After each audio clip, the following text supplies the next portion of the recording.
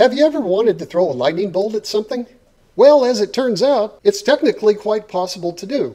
Today we're going to fire this directed energy device that I built a while back.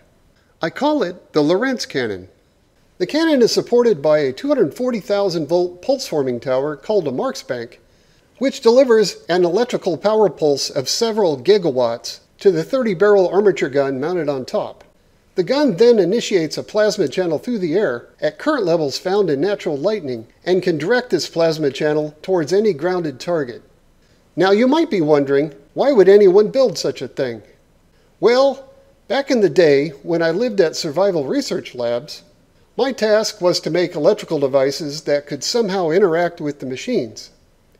But these machines were often quite violent and unpredictable and they were usually loaded with weapons and explosives.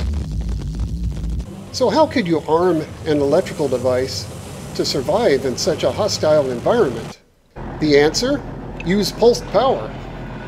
And if that doesn't work, use more pulsed power. Now, capacitor banks are a cheap and cheerful way to blast objects with hundreds of megawatts, or shower large areas of machines with molten metal. But to blast an object with capacitors usually involves running very heavy cables. And dragging these heavy cables up to a fast and mobile machine wouldn't be very practical at all. So I wondered, could you somehow direct a lightning bolt at a hostile machine instead?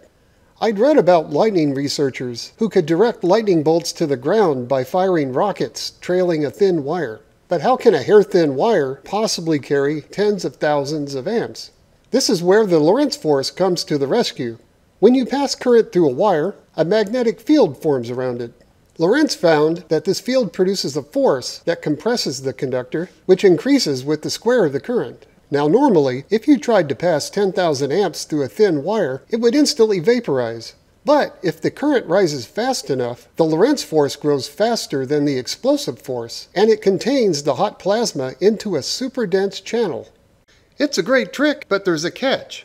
In order to get the current to rise that fast, you need to hit it with a rather large voltage pulse, and a fast one to boot. Now this is easy for a storm cloud to do, since it has hundreds of millions of volts available, but I wondered, could mere mortals pull off such a feat? As luck would have it, SRL had recently rescued a bunch of 20,000 volt capacitors from the scrapyard. But some quick calculations revealed that we needed over 120,000 volts to produce a fast enough edge. So to get 120,000 volts out of 20,000 volt caps, I borrowed the Marx bank approach used to power the Z machine. Now a Marx bank is a clever way to multiply voltage by almost any amount. Here's how it works. First, all of the caps get charged in parallel to 20,000 volts through the liquid ballast tubes. Then an array of spark gaps fires them in series, effectively multiplying the original voltage by the number of levels. So, I started on the Marx Bank design and stacked all of the 20,000 bolt caps that we had into an 8 foot high Marx bank weighing 4,000 pounds. Then, Tim Wellington and I started on the plasma gun itself, which featured a heavy brass front striker plate for the high current plasma channel and 30 barrels for good measure which seemed enough for a full SRL show. For acquiring targets on the killing floor, we gave the cannon actuators for both panning and tilting, and an aiming laser located in the central tube. Then we assembled all of the cannon parts in the SRL yard and tried some test shots. It worked! And it trashed my black and white Vidicon camera in the process. But at full capacitor voltage, the gun could only create a stable plasma channel about 15 feet long. So of course we kept turning the voltage up, increasing the range, but unfortunately the scrapyard caps were already at their end of life, and stressing them to 120% quickly resulted in many violent capacitor failures. So we needed to find new and better caps, and lots of them. But turns out they weren't cheap. And even used, just one of these energy storage caps cost more than my pickup. Well, it took me a minute to find another set of capacitors, but I finally had the good fortune to come across these. Here in the future, there are much beefier third generation capacitors available, allowing more than double the drive voltage of the old bank, and peak currents well into the range of lightning strikes. So let's pick up where we left off. The ranging test back then yielded a 25 foot range, but by overloading the old caps to 120,000 volts. Today, let's see if we can reach 35 feet with 150,000 volts. I'll be operating the cannon and the Marx bank from the relative safety of the operator's console here, but with heavy eye and ear protection nonetheless. So first we acquire the target, then start charging the Marx bank.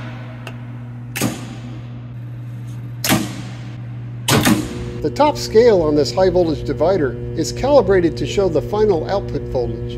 150,000 volts is right about here.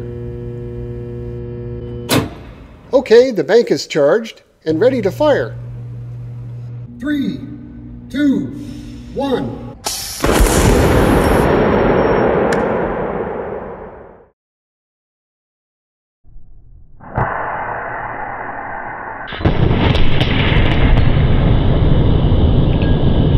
Ah, that familiar shockwave. I just hope the neighbors aren't too upset.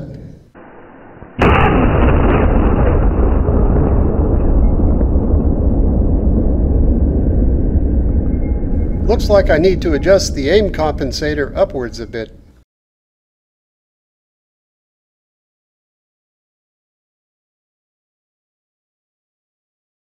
At this energy, the shockwave easily rips the target away, and leaves a bit of a flame even. You can definitely tell that a stable plasma channel formed, since it blew a hole in the plywood, and the peak current reached tens of thousands of amperes, and the Marx bank completely discharged its energy, and it was loud as hell. The echo off those buildings about a half mile from here kind of sounded like distant thunder. Now let's try doubling the energy delivered to the target. 210,000 volts is about double the energy of 150,000 volts. Our meter here only goes to 200,000, but it'll still give us a good estimate. Three, two, one.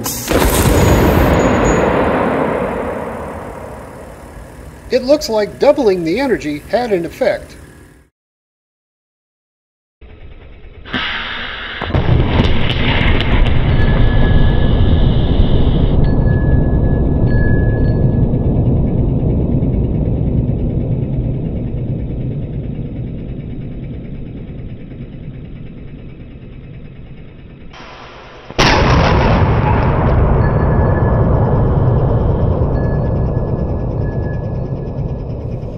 We can see, the target has now achieved a high state of division. But how did this happen? We can discover why by slowing down the video about 6,000 times. With double the energy, the shockwave has now gone supersonic, with wooden shrapnel departing at about 1200 feet per second. The target simply can't move out of the way in time, and is shredded to bits.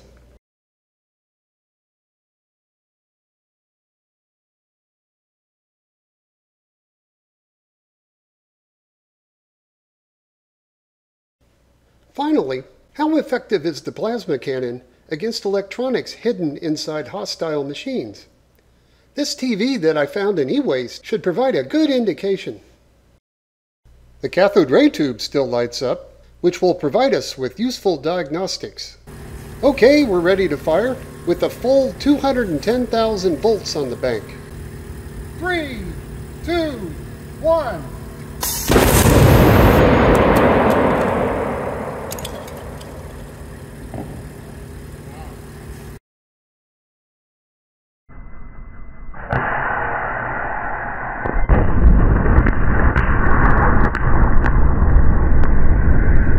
The plasma channel didn't penetrate the front of the CRT, but simply went around it and connected directly with the deflection circuits inside. Those circuits then launched through the top of the television.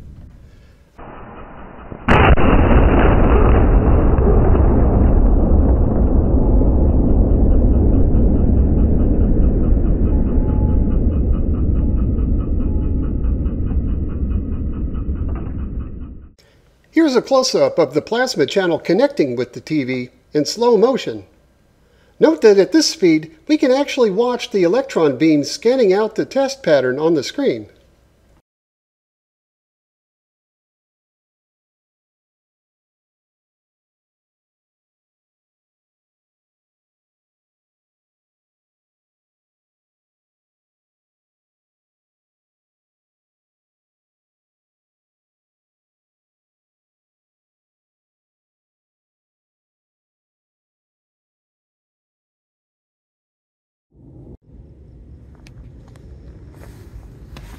The electronics hidden inside the TV were adversely affected by the plasma channel.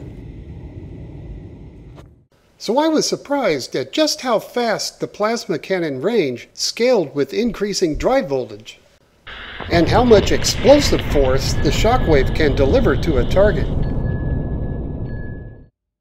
The data suggests that a plasma cannon with just a 30 foot high Marx tower could achieve a quarter mile range.